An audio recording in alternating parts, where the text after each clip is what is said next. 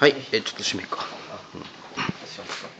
じゃあドアを閉める？はい。そうそうそうよしはい、えー、上田君の1分間スピーチ。はいどうぞ。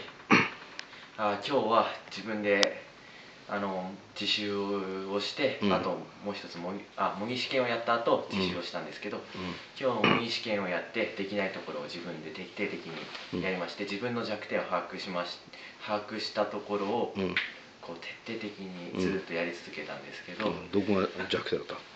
第3問ですね、おお大さんもん。なしまだ基礎がちょっとしっかりしてない部分があるんで、第3問やれば基礎の、まあ、第3問で出やすい場所の仕分けと、またそのやり方っていうか、まあ慣れの部分もあるんですけど経験も身についてきたんでうん。でも今日それずっとやり続けてて、うん。次やったらできるんじゃないかなって自信がつき始めてきました、ついてきたな、はいうん、じゃあ次楽しみやな、はい。うん、あと2週間な、はい。頑張ってね。頑張ります、